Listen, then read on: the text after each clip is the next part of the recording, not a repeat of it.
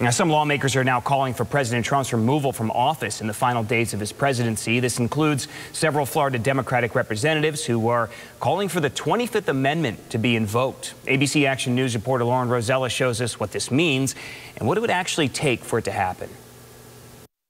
Two key Democrats from Tampa Bay, both Representatives Charlie Crist and Kathy Castor, are now joining fellow legislators in calling for the president to be taken out of office.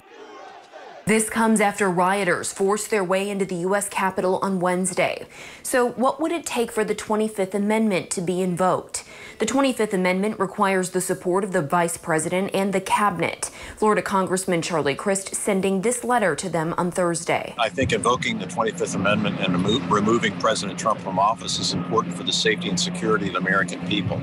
Uh, that's why it needs to be done. He's unstable, he's unfit. That's crystal clear. Constitutional law professors tell ABC Action News the 25th Amendment may actually take too long because the president has less than two weeks left in office. Representative Kathy Castor from Tampa posting to Twitter saying if the 25th Amendment is not invoked, Trump must be removed through impeachment immediately. Speaker Nancy Pelosi and presumptive Senate Majority Leader Chuck Schumer pointed to the possibility of impeachment if not the 25th Amendment.